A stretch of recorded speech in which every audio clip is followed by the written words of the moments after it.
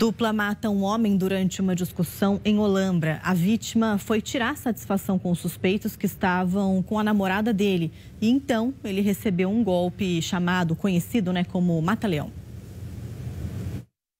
Alan Cosmo, de 24 anos, deu entrada aqui no pronto-socorro de Olambra em estado grave.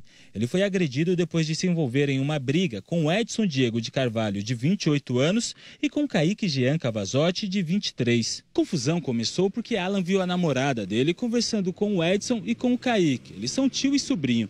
Ao tirar a satisfação, Alan foi agredido e recebeu um golpe mata-leão, que estrangula o pescoço da vítima. Ele perdeu a consciência e foi trazido para a Policlínica Municipal entendimento foi que a vítima, que entrou em óbito, ela tinha um relacionamento com uma moça, estava, estava tendo, e essa moça já teve um dos dois, o tio o sobrinho, não sei precisar.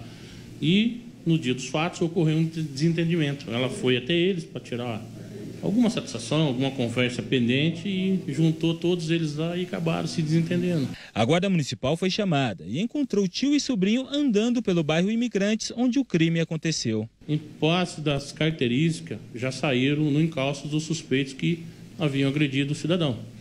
A equipe de moto rapidamente localizaram os suspeitos, conseguiram deter com o apoio de outras viaturas. Alan não resistiu aos ferimentos e morreu. E conduziram o suspeito até o PS lá pelo local, lá no PS, que tomaram ciência que a vítima que havia dado entrada já se encontrava em óbito. Edson e Kaique foram levados para a delegacia de Jaguariúna e presos em flagrante por homicídio. Foram até ser conduzidos lá para a CPJ, em seguida a autoridade tomou conhecimento dos fatos e já foram recolhidos para a carceragem lá.